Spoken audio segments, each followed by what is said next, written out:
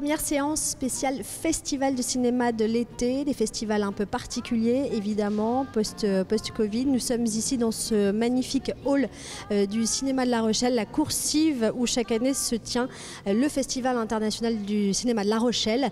Et je suis ici avec un membre de l'organisation et le responsable de, ce cinéma. On va parler avec vous euh, de ce festival qui se tient cette année de façon très particulière, 48e édition, en partie en ligne, en partie en chair et en os. Anne-Charlotte Giraud, vous êtes euh, responsable de l'action culturelle. Expliquez-nous comment va se dérouler euh, ce festival particulier. Alors ce festival cette année est un peu particulier, comme vous venez de le dire. Effectivement, on a démarré euh, à l'annulation euh, du 13 avril dernier euh, de beaucoup de manifestations. On a commencé par imaginer une édition en ligne grâce à notre partenaire la Cinétech qui a proposé d'inviter le festival sur sa plateforme avec une, une sélection de, certains films, à la fois des rétrospectives, des avant-premières et des présentations avec nos invités qui étaient prévus cette année pour cette 48e édition. Et puis ensuite, Ensuite, euh, coup de théâtre à la réouverture des salles euh, annoncé le 22 juin. Et Luc Lavacherie, donc le responsable du cinéma de la Coursive, a proposé une carte blanche euh, au festival sur le week-end du 3 au 5 juillet. Voilà, Donc là, on est in extremis juste avant euh, ce festival qui réunit chaque année beaucoup de monde. Euh, in extremis, vous vous dites, bon, on organise quand même un truc, on tient bon et on propose quelque chose. Absolument. Et donc, grâce au concours de, Luc et euh, voilà des, des, programmateurs du festival, cette, petite euh, édition euh, sur trois jours a pu se, monter euh, avec des avant-premières qui est accompagnée des, réalisateurs qui seront là avec leurs équipes euh, sur ces trois jours. C'est un sacré défi quand même d'organiser comme ça euh, une extrémiste quelques jours avant alors qu'on imagine que ça va se tenir uniquement en ligne. Et puis finalement on accueille encore, euh, vous souhaitez accueillir du public ici.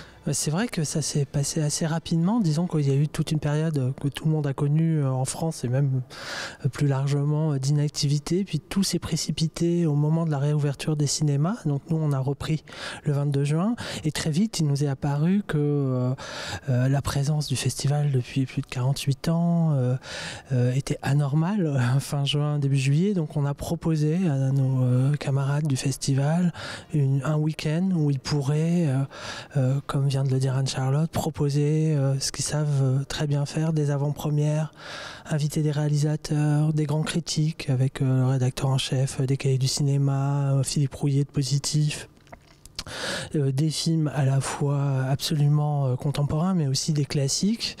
Donc on est ravis et on est ravis d'accueillir François Ozon qui va venir samedi. Donc et puis voilà. c'est un festival on a l'habitude de, de, de, voir de nouveaux films qui font beaucoup parler d'eux. J'ai souvenir de Petits Paysans euh, ah oui. récemment euh, qui était passé ici. Donc euh, euh, c'est un festival dont beaucoup de monde parle. Est-ce que depuis vous la réouverture là de ce cinéma comment ça se passe? Comment est-ce que vous vos, vos habitués fidèles sont revenus en masse? Alors c'est vrai que alors en masse, c'est pas enfin pour être tout à fait franc, non, c'est pas en masse pour la droit, hein, masse, voilà. Mais euh, ça reprend euh, à un volume qu'on n'espérait pas aussi haut dès le départ. Il y a une vraie fidélité, il y a eu un véritable manque chez les cinéphiles français du cinéma et essai. Euh, donc on a repris où on s'était arrêté et les gens aussi ont repris, ils ont euh, ils ont persévéré dans leur euh, désir de cinéma et nous on continue, on tient bon et on est sûr qu'au fil euh, des actions, euh, tout va reprendre euh, comme avant exactement comme avant et même peut-être mieux. Donc le festival est là aussi. Peut-être mieux pour... parce que vous pensez que justement le fait d'avoir vécu ce manque à, à, pointer du doigt euh, les choses qui étaient euh, les moments voilà. importants dans la vie des gens. Moi, je pense qu'il y a eu un manque, oui. Enfin, tout le monde l'a ressenti. Euh, c'est vrai que la télé ou l'ordinateur, ça va un moment.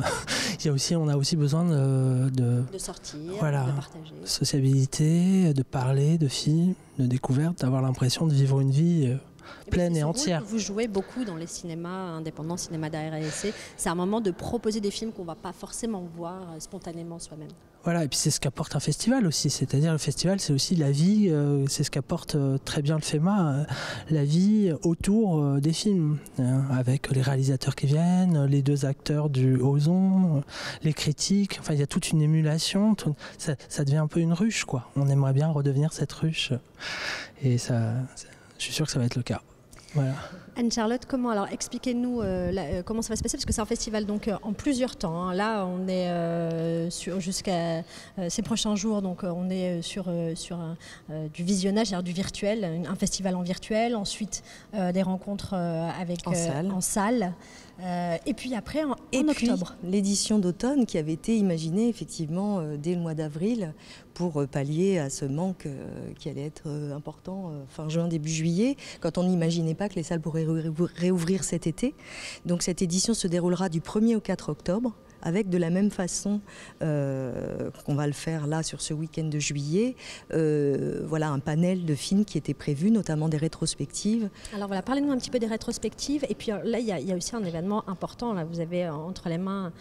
Luc Lavacherie, quelque chose de un, document intéressant sur une rétrospective sur Michel Piccoli. un hommage qui était prévu effectivement à, Michel Piccoli qu'on va déjà proposer euh, en fin de ce petit week-end d'été, dimanche soir, un bel hommage qui sera en grande salle euh, avec, voilà, avec Alexandra Stewart, qui a, voilà, qui était notre marraine en 2019 et qui sera présente pour parler de, Michel Piccoli, avec des petites surprises, euh, en mai. Voilà, puisque Michel Piccoli était un habitué du festival, on lui avait déjà rendu hommage et était très présent ici avec nous, donc c'était important pour nous de, voilà, de lui rendre hommage à la fois sur cette dernière soirée du week-end. Et puis cet hommage va se poursuivre dans d'autres salles en partenariat avec le, FEMA euh, et la DRC, donc qui nous a proposé euh, un vrai soutien pour faire tourner euh, voilà, les films de Michel Piccoli, accompagnés de voilà d'intervenants un peu sur toute la France.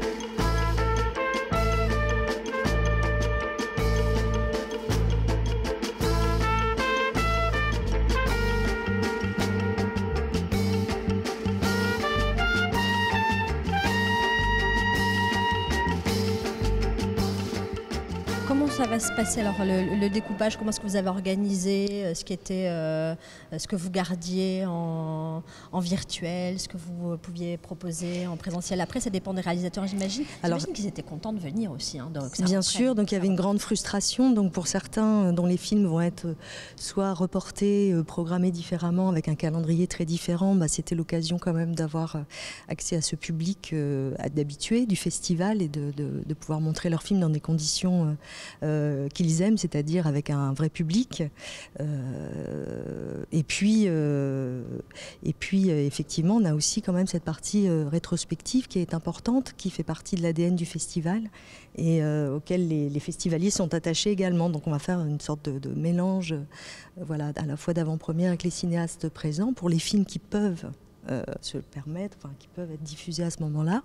Bon, vous êtes passé quand même à, deux doigts d'avoir euh, un festival euh, un, peu, un peu vide, un peu seul, un peu loin les uns des autres. C'est vrai qu'on était venu ici tourner les, années précédentes et il y avait des, des files d'attente incroyables de gens qui venaient de toute la région pour, pour voir vos films.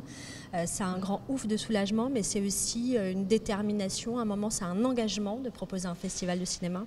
Bah, c'est un engagement de proposer des films en salle, hein, oui, et de proposer des films de cinéma en salle et accompagnés par, euh, par le réalisateur ou, comme le disait Luc, par des critiques, des spécialistes du cinéma qui viennent un petit peu étoffer euh, euh, ces projections et cette diffusion. Alors, cette crise sanitaire aura aussi révélé un véritable esprit de solidarité entre organisateurs de festivals, puisque euh, vous êtes euh, accueillis dans d'autres festivals, vous arrivez à mutualiser vos compétences et votre énergie, je crois. Oui, tout à fait. On avait déjà entamé euh, ce rapprochement, ces rapprochements avec euh, certains festivals, hein, comme le Festival de Brive, le FIFIB à Bordeaux euh, et, bien d'autres, le Festival du film d'histoire de Pessac également, le Poitiers Film Festival. Et nous avons évidemment accentué ces démarches de mutualisation et de soutien mutuel ben, pendant cette période de confinement où il a fallu, auprès de nos tutelles et financeurs, être plus forts et tous ensemble. Voilà. Est-ce qu'il y a une, je sais pas, une fédération, une régie Oui, c'est en, en, train de, c'est à l'œuvre. D'accord. Actuellement, oui, oui. Donc une grande coopérative de festivals. Oui, oui, oui, oui, oui absolument. Alors euh, là, le, Festival de La Rochelle, lui, par exemple, euh, on va pouvoir le retrouver où?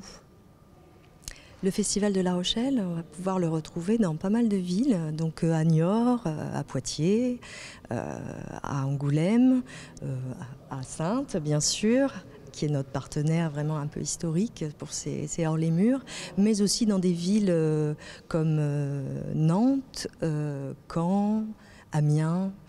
J'en oublie sans doute, mais c'est vrai que ça s'est un petit peu déployé. Ça, c'est enthousiasmant. C'est très enthousiasmant parce qu'il y a une vraie demande de, toutes ces salles et festivals voilà, de, proposer des cartes blanches au festival la Rochelle Cinéma. Il est temps maintenant de partir à Contis où se tient actuellement un autre festival, celui-ci exclusivement en ligne. Partons tout de suite dans les Landes.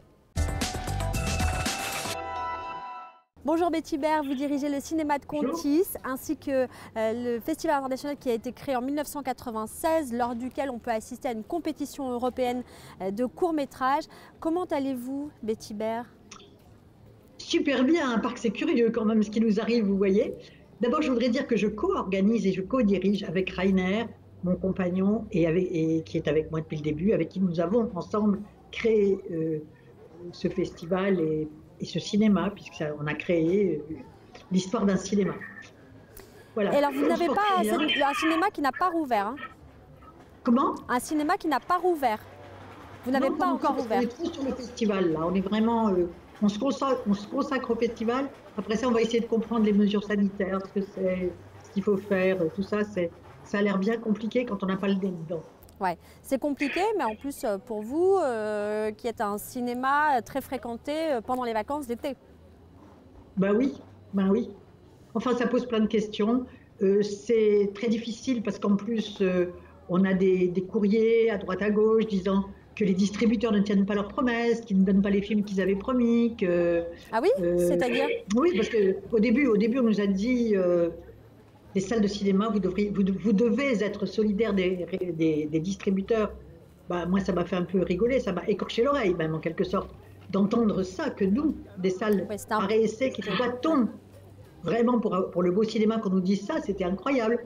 Alors on a dit, ah bon, peut-être, puis là, en même temps, euh, là, on se rend compte que les distributeurs n'ont pas du tout tenu leur parole ni rien, que les films ne sortent pas comme on espérait, qu'ils ne donnent pas les films aussi facilement que ce qu'ils avaient dit et tout ça. Enfin bon, voilà.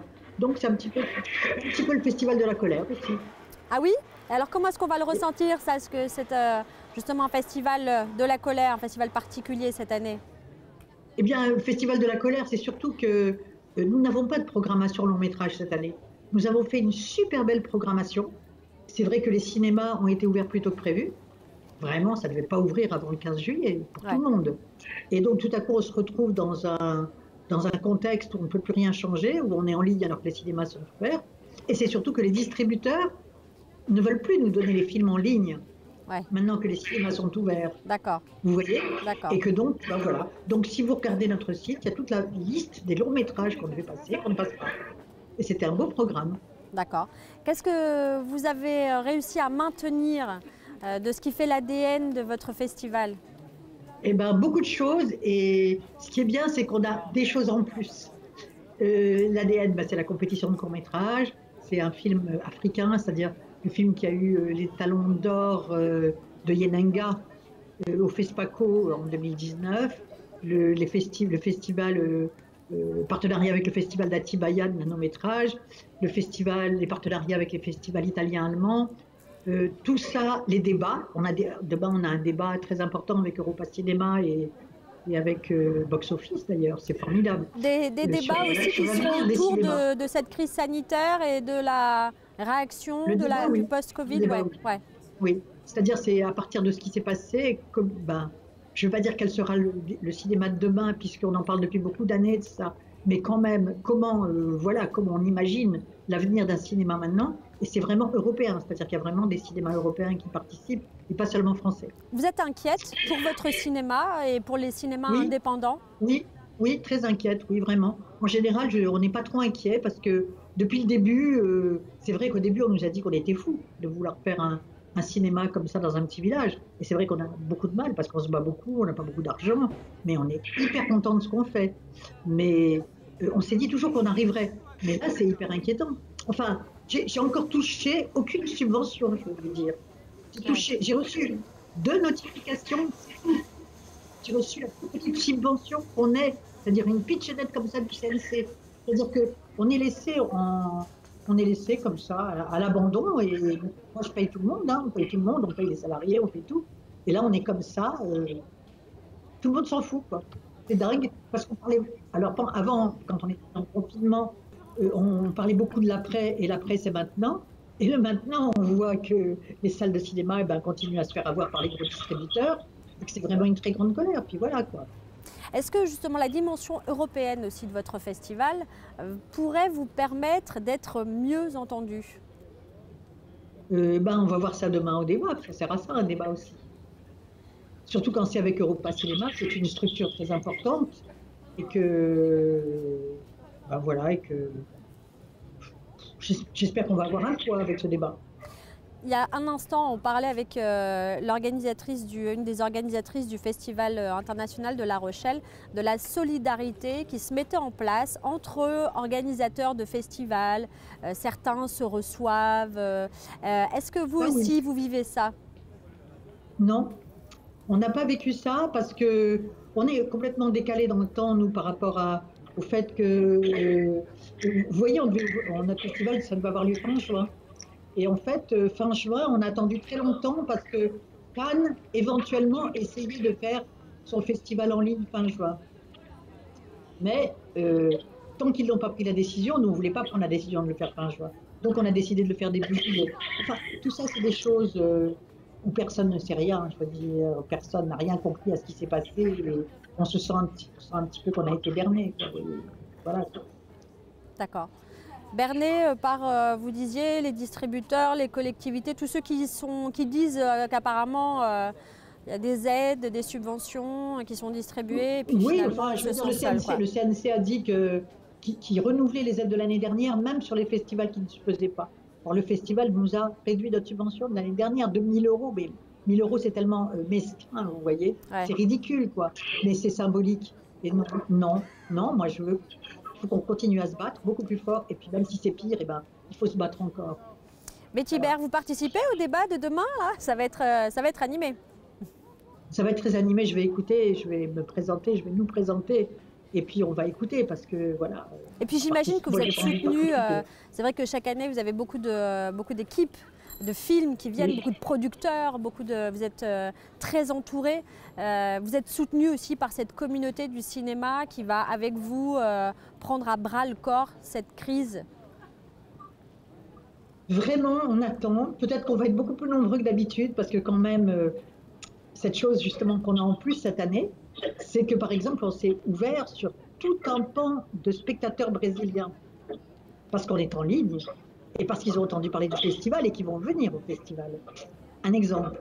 Et donc là, on s'est engagé l'année prochaine, quand on va faire un vrai festival avec tout le monde qui sera là autour, de continuer à le mettre en ligne pour que justement le monde entier puisse le voir si on en a envie. Vous voyez? Et ça, c'est le plus de, de ce qu'on découvre, de ce qu'on apprend cette année avec, euh, avec les festivals online. Et oui, c'est vrai que je me souviens de ce, de ce monsieur Carvalho, c'est ça, avec qui vous organisiez euh, les, euh, les, nanométrages, ces, ces, films très courts. la, compétition se tient encore cette année, oui Absolument. Non seulement, mais en plus, on lui rend un hommage cette année. Vous verrez sur le site, à partir de 18h30, il y a quelque chose. Bon, alors la chose très importante à dire par rapport à ce nouveau festival qui commence, c'est qu'on fête nos 25 ans. Et 25 ans, on avait décidé, avant même de savoir qu'on serait en ligne, eh ben, qu'on allait le commémorer et qu'on allait faire, euh, ben, qu'on allait plonger dans les archives et sortir des choses. Du coup, là, on a toute une partie de notre site qui est consacrée, qui s'appelle Promenade dans les 25 ans du festival. Et là, on a ressorti des traites d'archives, des tonnes de choses, etc. Et il se trouve que depuis, 2006, euh, euh, on, est, on a partenariat avec Atiria, que moi, donc Victor Carvalho, a été toujours présent. Et donc on lui rend un hommage et puis il y a plein de films de lui, plein d'images, plein de photos et tout dans cette promenade Ce que je veux dire, c'est qu'on a des très beaux courts-métrages. On a un magnifique jury qui est composé de euh, Jessica Palude, Fabrice Préel-Cléache, qui est producteur, et Alice Delongzin, qui est comédienne. Euh, Jessica Palude, j'ai tellement aimé son film Revenir que j'étais très heureuse qu'elle accepte d'être dans le jury. Et donc c'est un beau jury. Et puis on a toujours euh, le prix Grand Action qui est donné par Isabelle Gibalardi, qui est la directrice du Grand Action à Paris. Et voilà, c'est, euh, on est très excités, on est très excités alors qu'on verra personne ce soir. Et c'est quelque chose de très très bizarre comme sensation. Oui, mais, oui, mais à, tous les deux, vous êtes nombreux déjà. oui, mais par exemple, j'ai discuté avec Célia, qui est notre collaboratrice principale. Elle m'a dit, mais comment qu'elle était déjà habillée, maquillée et qu'elle attendait l'heure de l'apéro. Alors je pense qu'on va tous trinquer ensemble à 18h30 pour dire euh, bon festival. Formidable. Bon festival, Betty Bert. Bon festival à tous. Merci. Merci. L'été culturel dans notre région est chaque année marqué par euh, les festivals de cinéma. On sort à l'instant euh, du cinéma de la Coursive. On a entendu euh, Betty Baird à Contis, dans les Landes. Les festivals sont marqués par cette crise sanitaire. Le premier festival qui va se dérouler 100% en vrai, en chair et en os, en présentiel, sera celui d'Angoulême, le festival du film francophone qui va se tenir cette année du 28 août au 2 septembre, 20 avant-première 10 films en compétition. Les présidents exceptionnels cette année sont Benoît Delépine et Gustave Kerverne. Et puis cette année aussi une particularité à Angoulême, c'est que la salle Léperon, euh, fermée pendant près de 25 ans, va rouvrir à l'occasion du festival. On écoute à ce propos le co-organisateur du Festival du film d'Angoulême, Dominique Besnéard.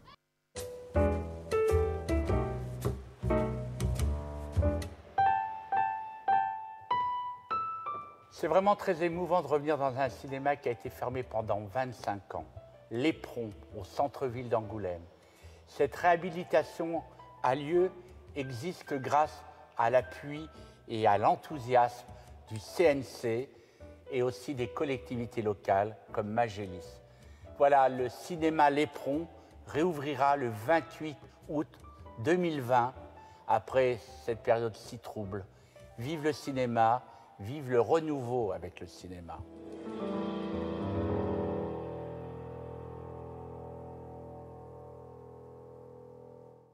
Soutenez le cinéma et n'hésitez pas à aller dans les festivals de la région dès que possible. Très bel été à tous.